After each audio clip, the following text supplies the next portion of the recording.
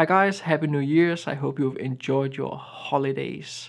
So in this video I want to show a few new photos that I caught in the holidays and I want to show or discuss when it is preferable to use aperture priority over manual and when manual can be preferable to aperture priority.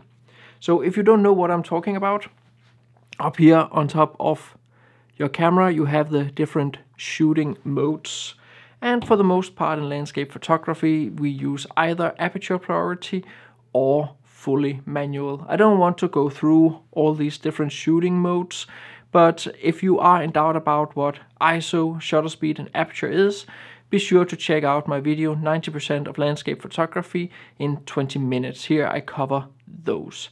But let's start in the field.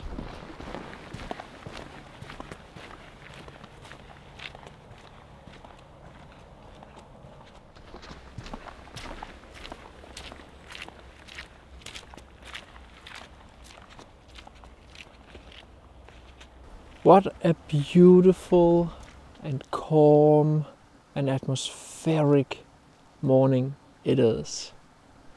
So I'm at a location I was out scouting a couple of days ago. I showed it in my stories on Instagram. If you don't follow me on Instagram, be sure to check it out there.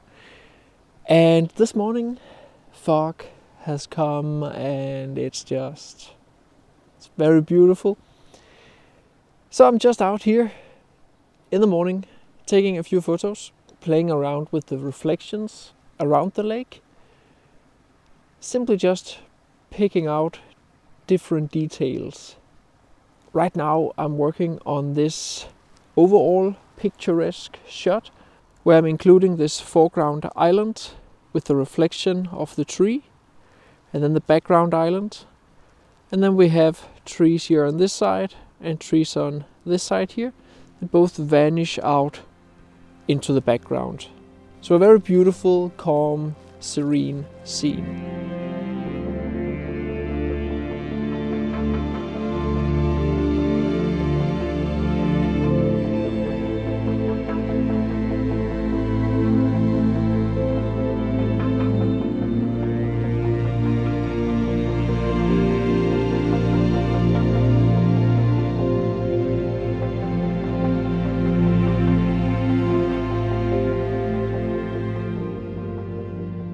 So this video here is all about which camera mode is the most optimal to use in landscape photography.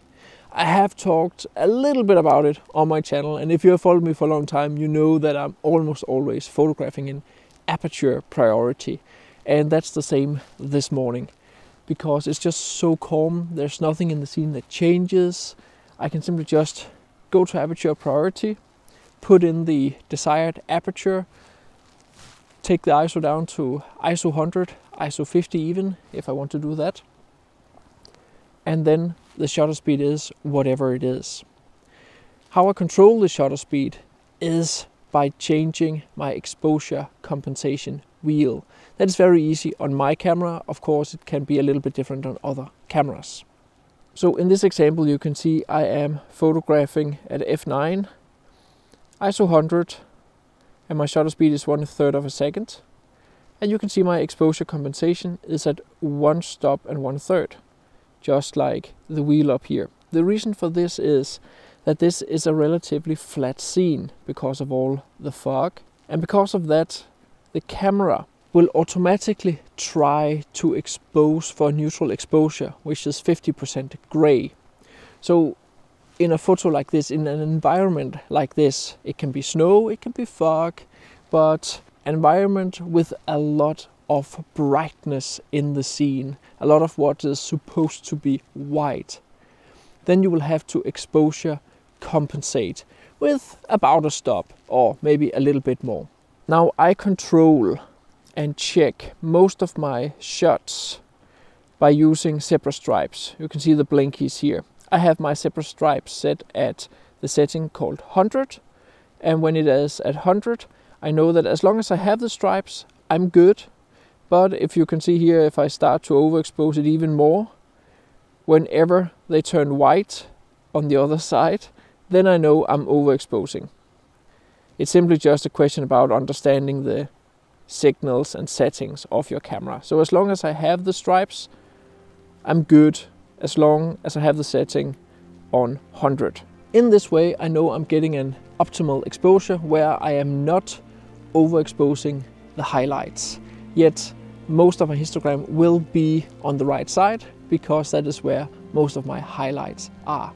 And I haven't clipped my highlights, so I can always bring it back down and have all the information in one exposure.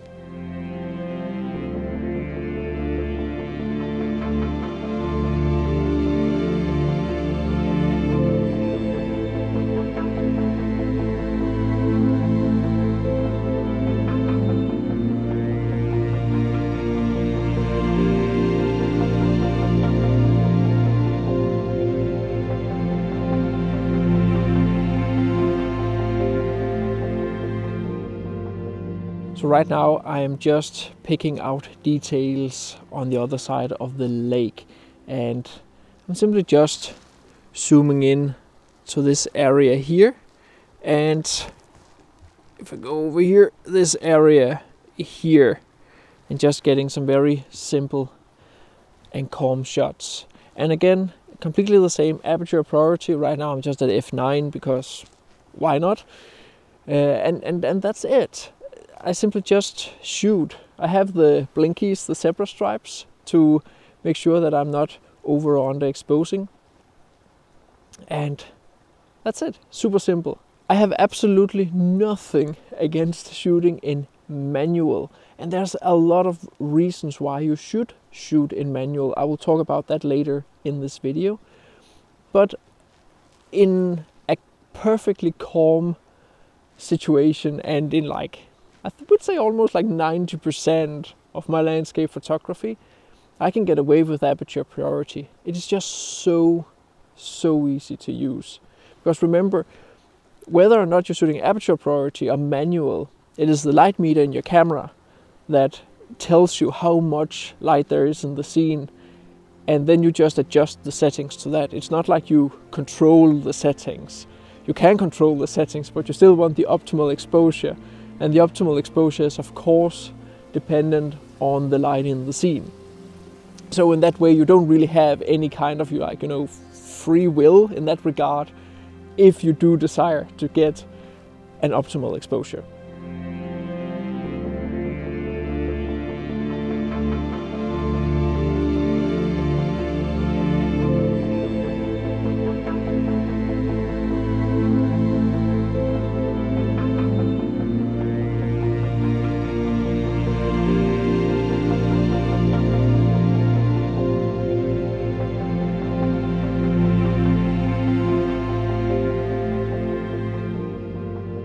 So another huge benefit of photographing in aperture priority is that when you change your scene, you don't have to constantly compensate with your shutter speed for the changing luminosity of your scene. So in this case here, as you can see here, I am shooting towards these silver birches over here.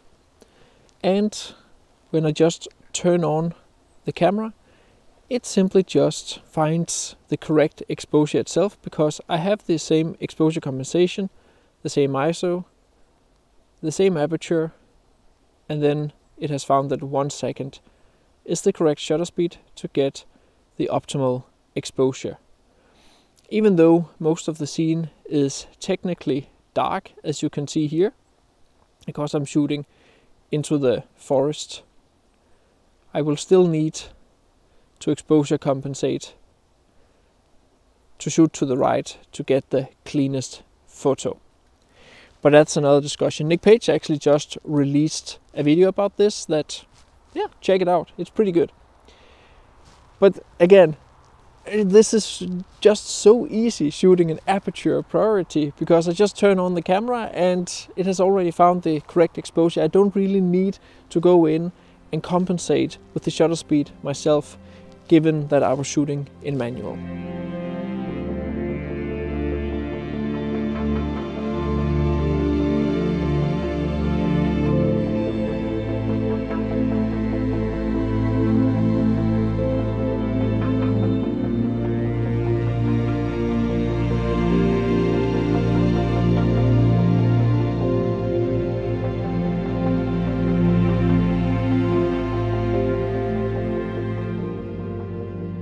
So another big benefit of shooting in aperture priority is that it is easier to adapt to the scene.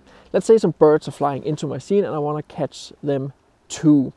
If I were shooting in manual mode, I would have to change my shutter speed to catch the birds with a fast shutter speed so they didn't get blurry. If I'm bringing up my shutter speed, I would also have to bring up the ISO. So I would have a high ISO, fast shutter speed, and the aperture is whatever it is to get the entire scene in focus. Now, when I'm in aperture priority, I simply just have to change the ISO because the camera automatically compensates with the shutter speed. So in that way, there's only one setting I have to change. So it is just much faster to adapt to the scene when I'm shooting in aperture priority relative to if I were shooting in manual mode. And you may of course ask, yeah, Mads, but how often does that happen?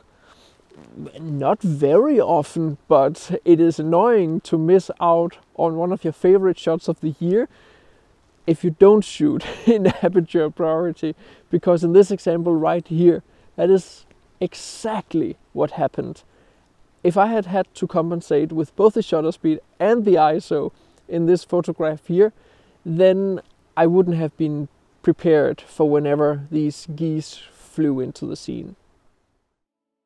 If you want to learn about composition landscape photography, be sure to check out and get my two ebooks. Here I cover all the different tools I use and how I think in the field when I compose my photos and both books ends with a chapter where I bring everything together.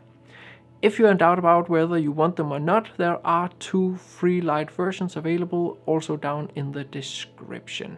You have to sign up to my newsletter to get the first one. So the point for me generally is to make the technical aspects of photography as easy as possible. So I clear up brain capacity to be more creative. So another place where I also use aperture priority is when I take my epic selfies where I walk far into the scene. So I put the camera in aperture priority and use the intervalometer and then the camera just keeps taking photos. The reason why I prefer to use aperture priority in a setting like that is because if a cloud moves in front of the sun or it moves away from the sun, then of course the entire scene will completely change in regard to the brightness values. So I might end up underexposing or overexposing the photo if I'm not in aperture priority. So when do I prefer to use manual? Usually during night I always shoot in manual. For some reason I just find it easier that it is just the shutter speed that I change. But shooting in manual also allows me to go into bulb mode where I can make exposures longer than 30 seconds. So night photography, Milky Way photography, northern lights photography. However, my most common use for shooting in manual is around water and it's for two reasons. One is that I lock down the shutter speed. So the shutter speed will always be the same. Usually around water when I photograph waves, whether they are coming towards me or they are receding, I'm shooting in continuous shooting mode. So when I expose for the scene and I expose for the waves, then I get a certain look at like, let's say 0.5 seconds. And that's what I'm shooting for. When the waves break or when they recede, the brightness values of the scene usually change quite a lot. So if I were shooting in aperture priority, the shutter speed would change and that would change the look of the waves. And I'm of course not interested in that. So in that way, I can control my shutter speed. When I shoot waves and I want a specific look at those waves, I photograph in manual. So probably one of the most dramatic examples for this is when you're shooting at the Diamond Beach in Iceland. Because of all the black sand, the camera will of course expose for something very dark. But when waves come in and they break, then it will of course be very bright, like the contrast between the black sand and the foam of the breaking waves will be very, very big. So there's a huge risk of you overexposing the first few photos if you're photographing in manual mode and you're of course not interested in that. So to get around this you want to photograph in manual. So the other reason why I prefer to photograph in manual mode around water is that there's always a risk that you get some spray up on the front element of your lens. And you obviously want to avoid that. The way I avoid this is again to photograph in manual mode and continuous mode. So in this example here, I was standing very close to the waterfall and spray were continuously hitting the camera.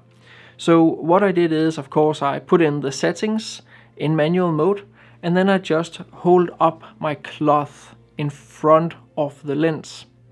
And then I started photographing and then I removed the cloth. So the first shot or the first two shots were without spray. Now if I were shooting an aperture priority, then the camera would have exposed for the dark scene that I would have created when I put the cloth in front of the camera. So when I remove the cloth, then the camera have to start exposing for the waterfall scene. But if I were shooting there, I would just overexpose the first few photos. So in that way, it is very preferable to photograph in manual mode when you're photographing around water. So to summarize, think of your camera as a Swiss army knife. It has different modes for a reason, and it's about making it as easy for yourself as possible. At least that's how I go about it. And aperture priority is what I prefer to photograph in when I'm just hanging around, like let's say in a forest, and the scene does not change while I'm photographing it.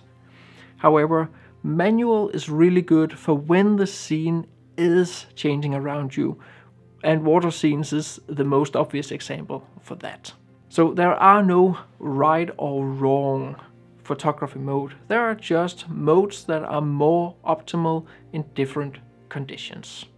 So if you want to learn how I edit my photos, be sure to enroll in my huge Photoshop for landscape photographers post-processing course. Here I share everything I know and I'm bringing you from a beginner to an advanced user of Photoshop. Besides of course showing you how the programs work, I also show you how to create glow and atmosphere. I show you how to clean your photos.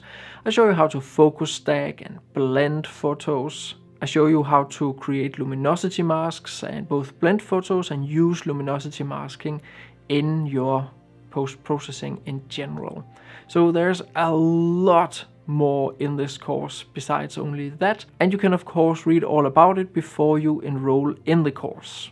If you enjoyed this video or in any way, shape or form found it entertaining or beneficial for you, I would highly appreciate both a like and a comment. Engaging with my videos is the best way to support my channel because then the YouTube algorithm that we are all slaves to will know that this is an interesting video. Thank you so much for watching.